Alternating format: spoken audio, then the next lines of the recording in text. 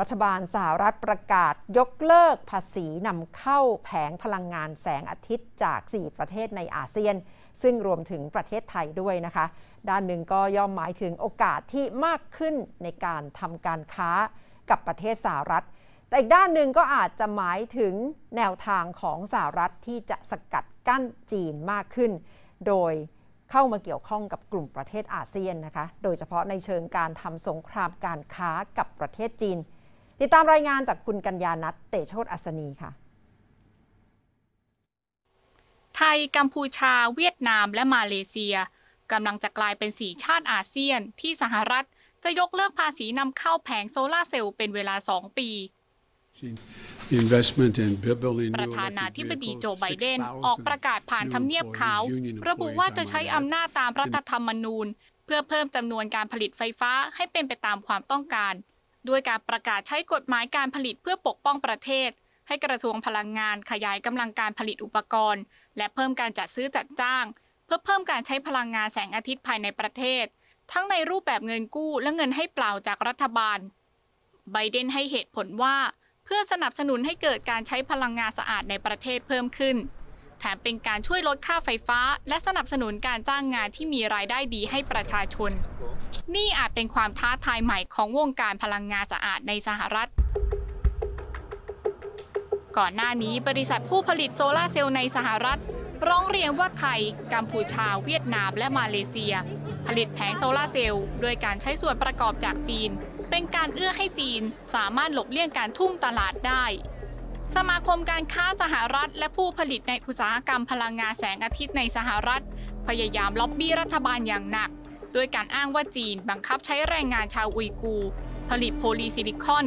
หนึ่งในส่วนประกอบหลักที่ใช้ในการผลิตโซลาร์เซลล์ กระทรวงพาณิชย์สหรัฐ จึงประกาศเริ่มกระบวนการไต่สวนผู้นำเข้าแผงโซลาร์เซลล์จาก 4 ประเทศอาเซียน หากการไต่สวนเสร็จสิ้น และพบว่ามีความผิดจริง ผู้นำเข้าอาจต้องเสียภาษีย้อนหลังราว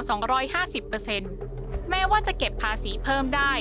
แต่โครงการพลังงานแสงอาทิตย์ในสหรัฐหลายร้อยโครงการอาจต้องหยุดชะงักไป จนส่งผลต่อการจ้างงานในอุตสาหกรรมพลังงานแสงอาทิตย์ของสหรัฐเอง ตอนนี้กระบวนการไต่สวนยังไม่แล้วเสร็จ แต่ก็สร้างความกังวลให้กับนักธุรกิจในอุตสาหกรรมพลังงานสะอาดจนพวกเขาไม่กล้านำเข้าแผงโซลาร์เซลล์มาผลิตไฟฟ้าในสหรัฐ ผู้ประกอบการส่วนหนึ่งมองว่า นโยบายงดเว้นภาษีนำเข้าแผงโซลาร์เซลล์จากประเทศอาเซียน รวมถึงไทย เป็นการคลายความกังวลให้กับผู้ประกอบการ และทำให้นโยบายพลังงานสะอาดของสหรัฐเดินหน้าต่อไปได้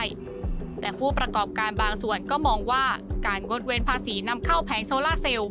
จะเป็นการทำลายอุตสาหกรรมพลังงานแสงอาทิตย์ของสหรัฐเอง